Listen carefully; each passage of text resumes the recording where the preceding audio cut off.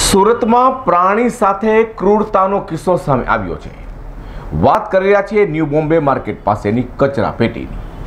New Bombay market પાસે કચરા પેટીમાં પ્લાસ્ટિકની થેલીમાં બાંધીને શ્વાન એટલે કે કૂતરાને ફેંકી દેવાયો હતો, જેને રાહદારીઓએ રેસ્ક્યુ કરી બહાર કાઢી આવી ક્રૂરતા આચરના સામે રોષ વ્યક્ત કર્યો છે. કે આવું શા માટે? ન્યૂ બોમ્બે માર્કેટ પાસે સુરત મહાનગરપાલિકાની કચરાની પેટી મૂકવામાં આવી છે. આ પેટીમાં પ્લાસ્ટિકની થેલીમાં શ્વાન, એટલે કે કૂતરું અંદર હોવાનું જાણવા મળ્યું હતું. જેથી રાહતદારીઓ એકત્રિત થઈ ગયા હતા. ત્યારબાદ કચરા પેટીમાંથી શ્વાનને બહાર કાઢવામાં આવ્યો હતો. પ્લાસ્ટિકની બેગમાં જીવિત શ્વાનને બાંધીને કચરા પેટીમાં ફેંકી દેવામાં આવ્યું હોવાનું સામે આવ્યું હતું. રાહતદારીઓએ એનિમલ ડોક્ટરને બોલાવીને શ્વાનને સારવાર અપાવી હતી. કોઈક અજાણ્યા ઈસમ દ્વારા બાઇક ઉપર આવીને માર્કેટની નજીકના શ્વાનને કચરા પેટીમાં ફેંકી ગયા હતા.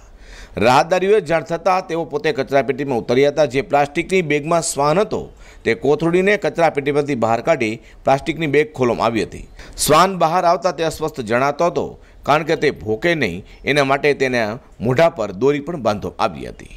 આમ શ્વાનને કોઈ તકલીફ ન થાય, તેના માટે એનિમલ ડોક્ટરને પણ તાત્કાલિક અસરથી રાહદારી દ્વારા બોલવામાં આવ્યા હતા. આવા જીવિત મૂંગા જાનવરો સાથે આ રીતે ક્રૂરતાભરી માનસિકતાથી ફેંકવામાં આવતા પશુ પ્રેમીઓમાં આજે ખરેખર રોષ જોવા મળ્યો છે. ડૉક્ટરને બોલાવ્યા બાદ શ્વાનને સારવાર આપવામાં આવી હતી.